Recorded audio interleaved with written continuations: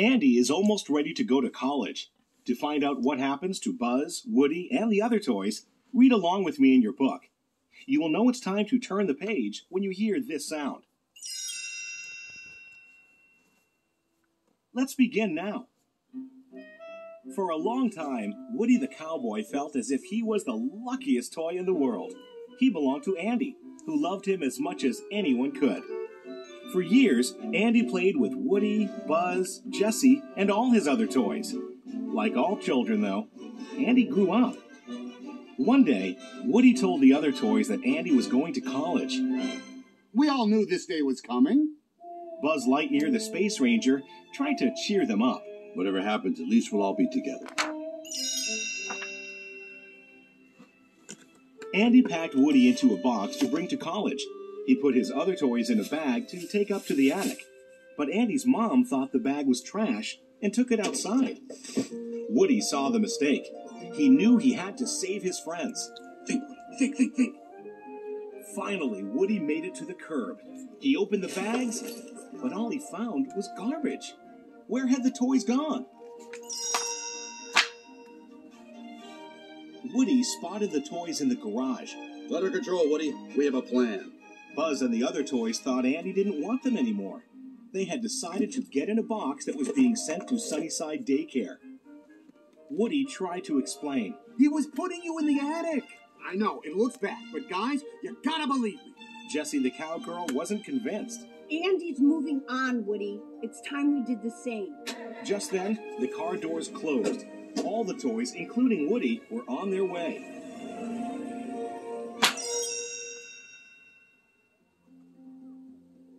At Sunnyside, the toys were greeted by a bear named Lotso. Well, hello there. He showed them to the toddler classroom.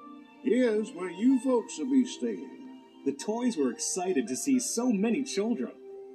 Rex the dinosaur couldn't wait for recess to end. Why can't time go faster?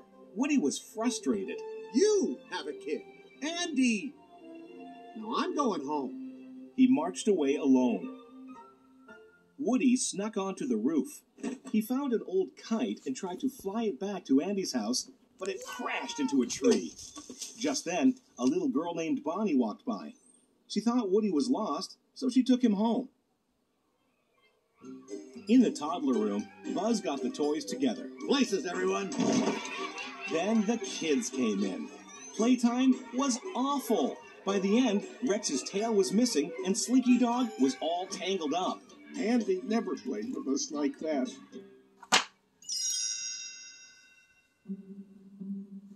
Buzz went to Lotso to request a transfer. Those kids need someone to play with. Lotso told Buzz he could move, but the other toys had to stay. Oh, yeah. Buzz refused, so Lotso's crew pushed his reset button. The Space Ranger forgot about his friends. Hmm. Meanwhile, Mrs. Potato Head discovered something. She could see what was happening at Andy's house with the eyes she'd left behind. I think he did mean to put us in the attic. Woody was telling the truth. Slinky Dog and the other toys realized they had made a mistake. Jessie took charge. We gotta go home. Lotso and his gang walked in. You ain't leaving Sunnyside. Jessie wasn't scared. And who's gonna stop us? Buzz still didn't remember that Andy's toys were his friends. Following Lotso's orders, he trapped them. Prisoners disabled, Commander Lotso. Jessie wondered how they would escape. I miss Woody. Woody was having a wonderful time at Bonnie's house. Still, he kept thinking about Andy. He's leaving soon. I gotta get home. Then Woody found out Bonnie's toys knew about Sunnyside Daycare. They told Woody that Lotso had belonged to a girl named Daisy. She had lost him, and by the time he found his way back, Daisy had gotten a new toy bear. Since then, Lotso had hated new toys. My friends are in there. Woody had to save them, fast. Woody snuck into Sunnyside Daycare in Bonnie's backpack. We're busting out of here tonight. First, the toys had to get Buzz back to normal. They trapped him in a bin. Ooh, over his back, there's a switch. The toys accidentally reset Buzz to Spanish mode. Hmm? Come on, El Buzzo. Oh. Woody led the toys to the playground. They snuck past Lotso's guard, a doll named Big Baby. At last, the toys made it through a chute that led outside. All they had to do was get across an open dumpster. Then Lotso appeared. Well, well. Look who's back. He tried to get Big Baby to stop them. Lotso ended up inside the dumpster, though. The toys started to run away, but Lotso grabbed Woody's legs. Oh, come on! Jessie tried to save Woody. It was no use. The garbage truck arrived. All the toys were emptied into a trash compactor. Luckily, everyone was all right.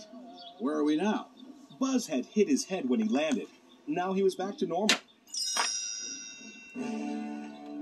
At the dump, the toys were headed toward a trash shredder.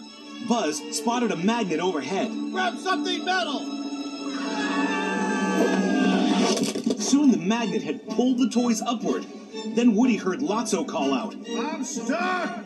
Help, please! Woody and Buzz rescued him, and the toys moved over the shredder onto a conveyor belt. The toys were still in danger. Lotso was the only one who could push the stop button and save them. Where's your kid now, Sheriff? Lotso walked away. He hadn't changed. Andy's toys held hands and closed their eyes. Suddenly, something lifted them up. The aliens had saved them with a crane.